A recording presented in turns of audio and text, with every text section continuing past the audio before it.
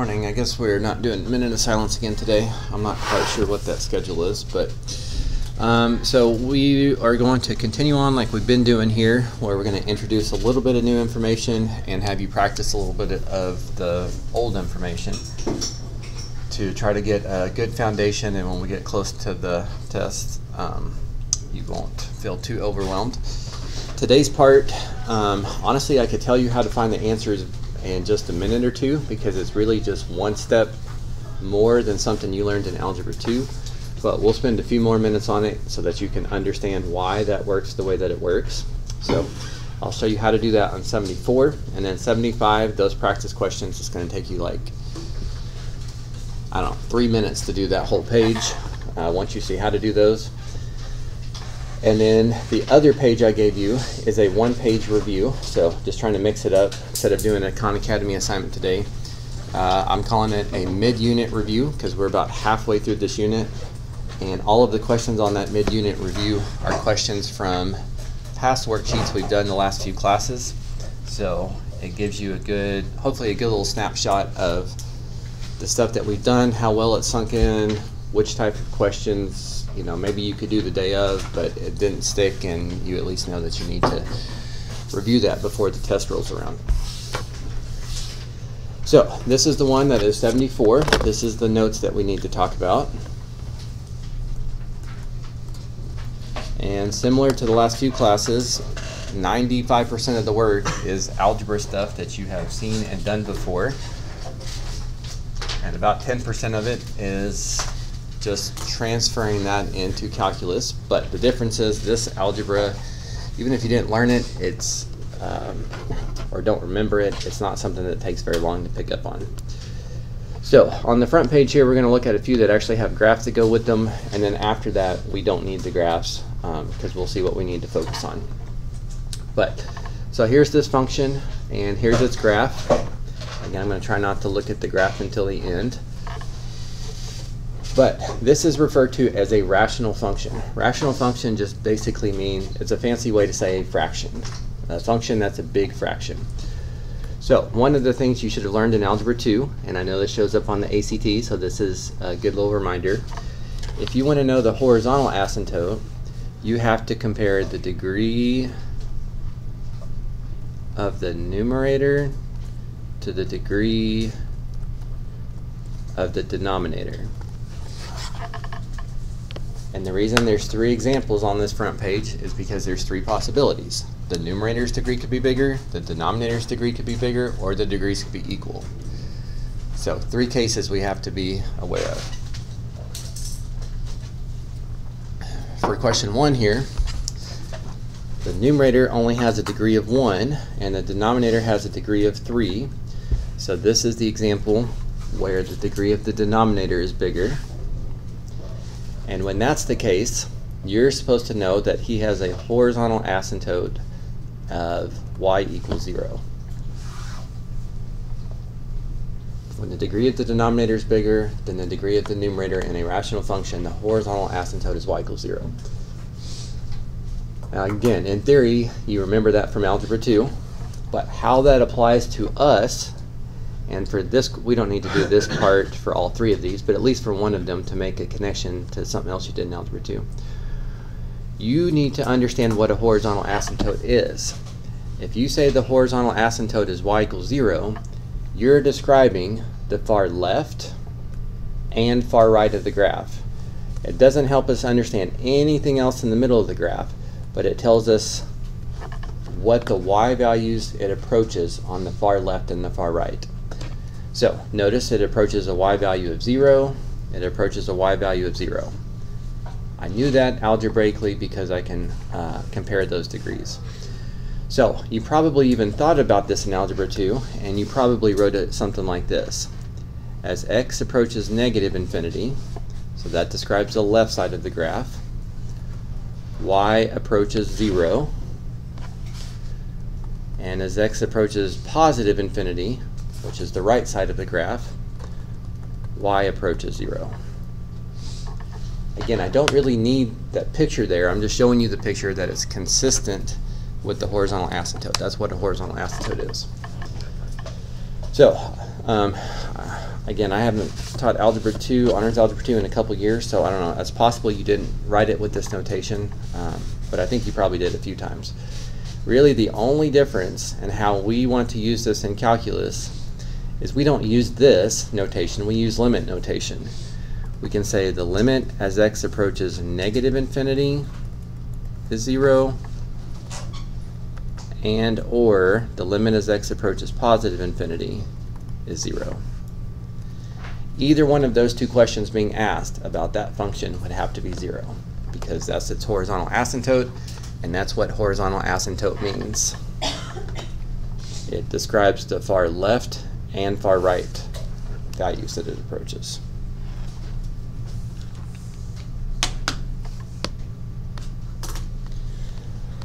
Okay, so uh, another one of the horizontal asymptote rules you're supposed to know is if the degree of the numerator is bigger than the degree of the denominator,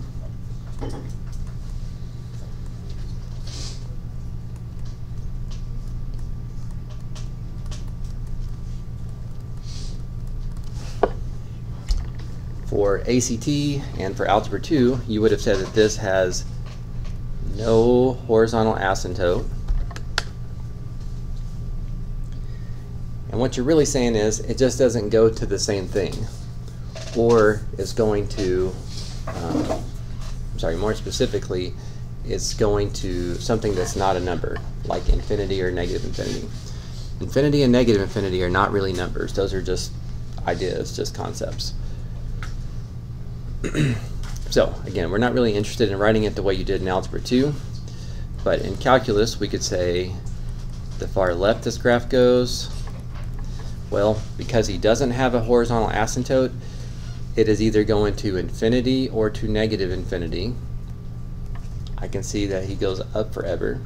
So if you have the graph, you can be slightly more specific.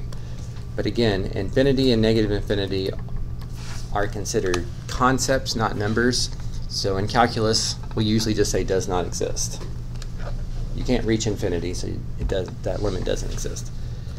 And then basically the exact same thing for the right side of the graph. If you see the graph, which you normally don't, you can see that the further right you go, the further down you go. So if you have a graph, you could describe it as approaching negative infinity, but since negative infinity is not really a number, in calculus we just tend to say does not exist. If it does not have a horizontal asymptote, the limit as x approaches infinity or negative infinity would not exist. Okay, so if the degree of the numerator is smaller than the degree of the denominator, it approaches zero on both sides. If the degree of the numerator is bigger, one side's going to infinity, one side's going to negative infinity. Feel free to answer those if you have a graph and you can see it. Otherwise, just say does not exist. And then the third and only other possibility was when the degrees are equal. I think this is probably more common to show up um, on the ACT. But when the degree of the numerator is equal to the degree of the denominator, your horizontal asymptote is y equals leading coefficient of numerator over leading coefficient of denominator. So coefficient, just a fancy math word for saying uh, the number being multiplied by it. Leading coefficient would be the number that's being multiplied by x that has the biggest exponent. So that would be 4 in the numerator and 1 in the denominator.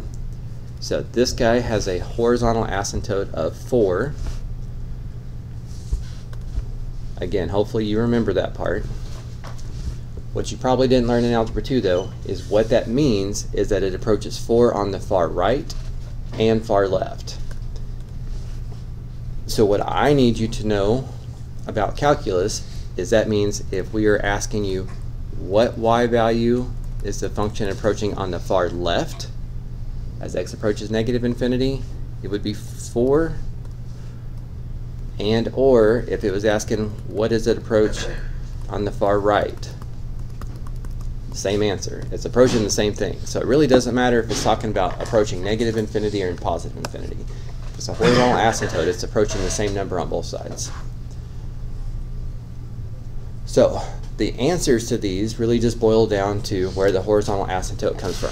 If the degrees are equal, leading coefficient over leading coefficient tells you what number it approaches on the left and the right. If the degree of the numerator is bigger, it doesn't have a horizontal asymptote, so you can say the degrees or the limits don't exist.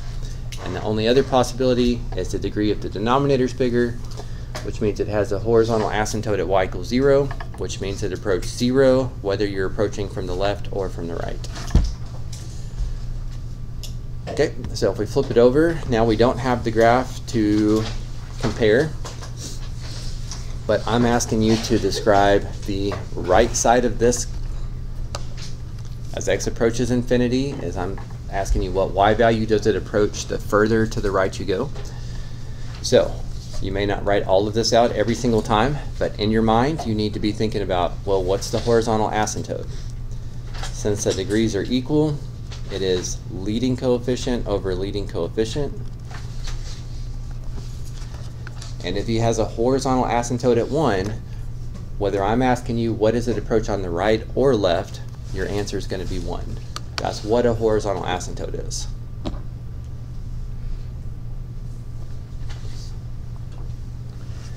Okay, over to the right, I'm asking you to describe the y value it approaches as x goes further to the left. So once again, in your head, you should be thinking which horizontal asymptote rule is it?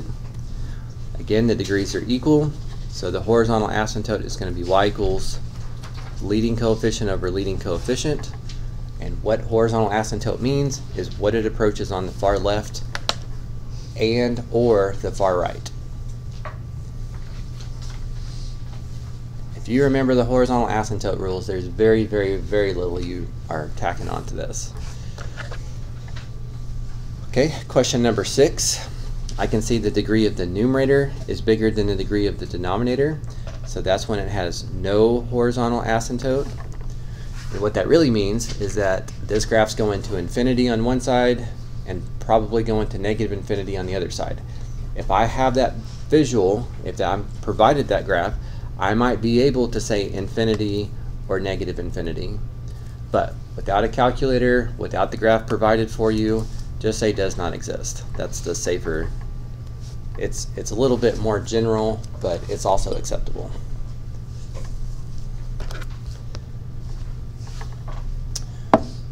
Okay, so that's all it really boils down to. Degrees are equal. Horizontal asymptote would be y equals leading coefficient over leading coefficient. And what horizontal asymptote means is what does it approach on the far left or the far right.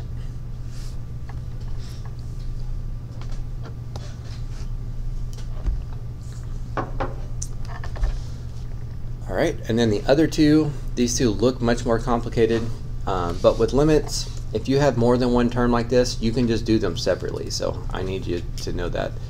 So you could work out this part, see that he has a horizontal asymptote of 1. So he's approaching a y value of 1 as you go there. Over here, this guy has a horizontal asymptote of 2. And then you can do those separately, and if it says add them together, then you add them together. So if you can do one term like above, then you can do multiple terms like below.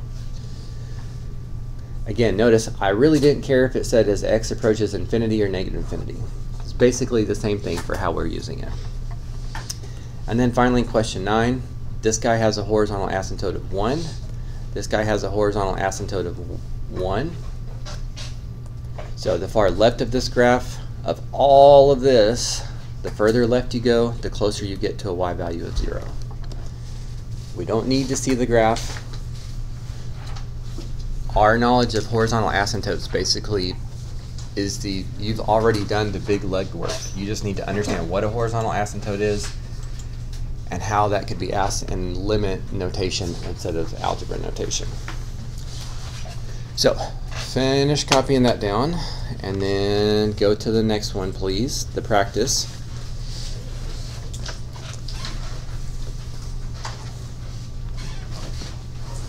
That would be, the practice will end up being number 75.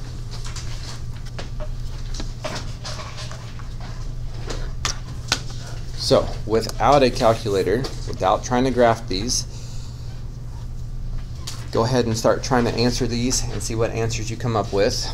And in a minute, I will pick um, a couple of them to go over with you so that if you are making a mistake, hopefully we can catch it and you don't have to redo this one. But again, all of these questions should be pretty quick, so I, I would hope you wouldn't spend more than about five minutes on this entire on this entire worksheet. But I'll give you a couple minutes and then I'll pick out a few select questions for you to compare with mine.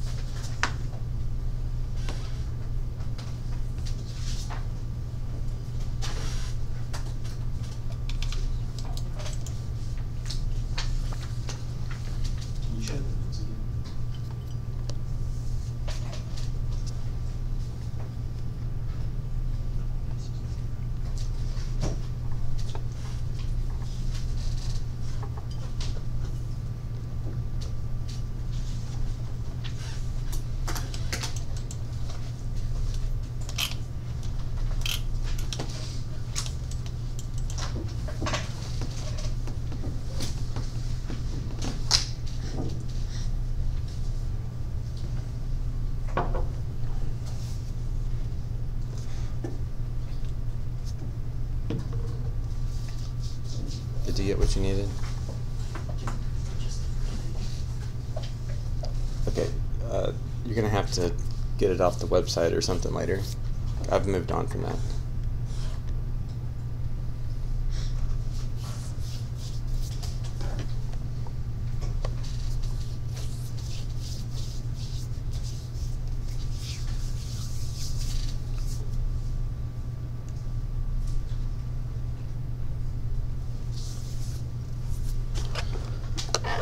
Okay, um, I'm going to pick out three questions to go over with you. Just a, a sampling of the three, the only three possibilities you have to answer.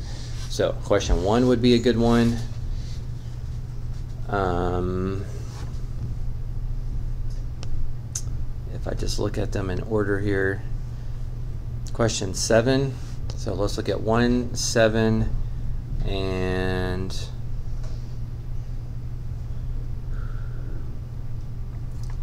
uh, 13.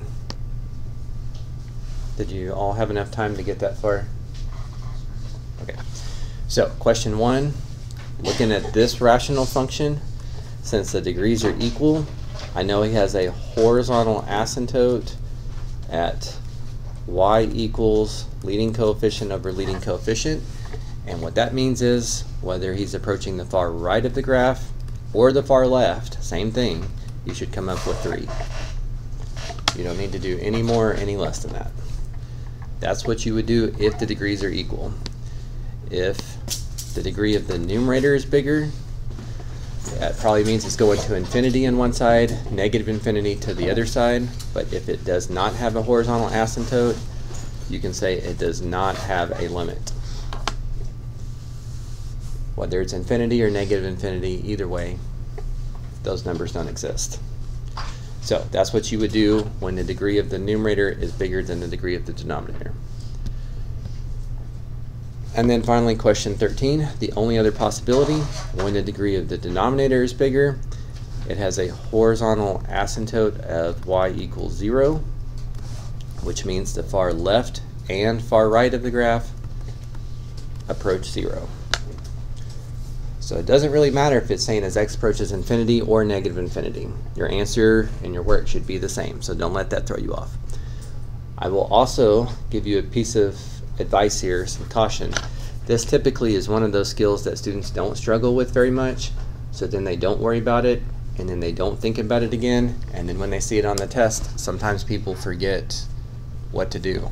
I mean, obviously, you don't want that to happen. These can be some of the easiest and quickest questions, and your next test will have a couple of those on there. So, all right, so go ahead and finish that up, please. Let me double check.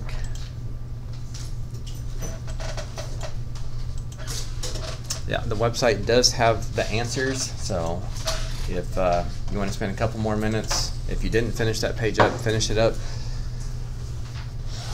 Check the answers um, online, or maybe one person in your table group check the answers for everybody, and then if there's any of those that I can um, help correct any mistakes on, I would be happy to. And then once you do that, you can work on the mid-unit review. So again, it's just like two or three questions from each day that we've been in this unit. So it should kind of show you if you know how to approach each question. If you don't, which questions is it that you need to ask about? Which type of questions will you need to study before we get to the test? But again, we're about halfway through this unit, so it's kind of a good little uh, checkpoint. My website does not have the answers to those questions but again, those questions are exactly the same from previous worksheets. So if your binder's put together, it should be pretty easy to flip back a page or two and see what you got from a previous day.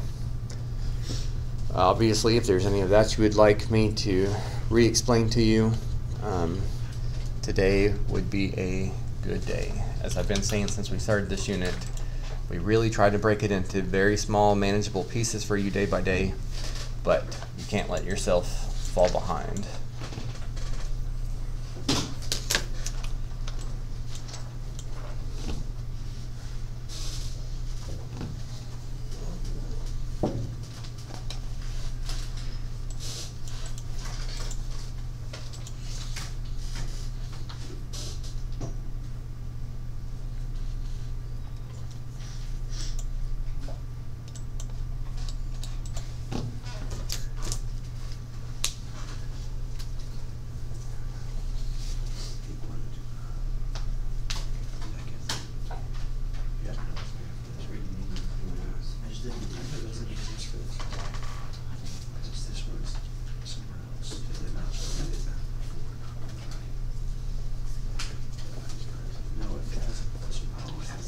Course, you guys are welcome to work on this mid-unit review together and help each other out.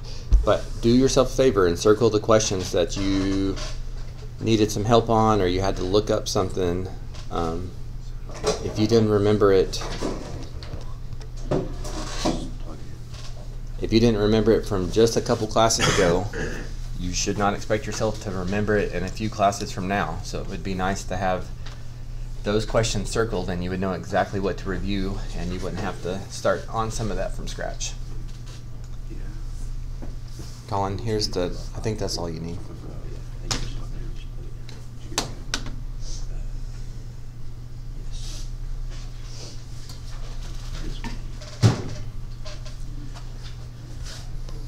And once you guys finish that, get any help that you need to get on that. Make sure you feel pretty good about it.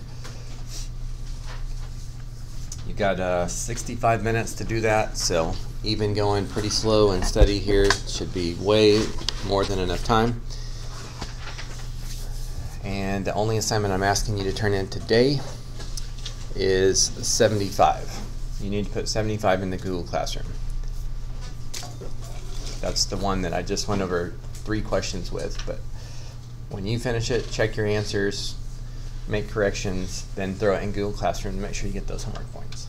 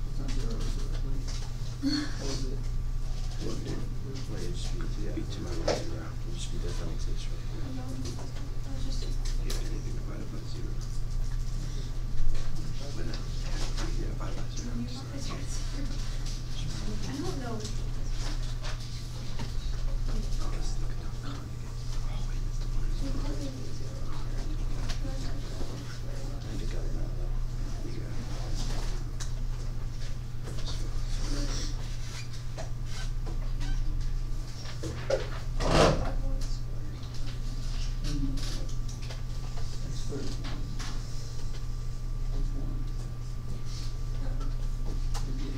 one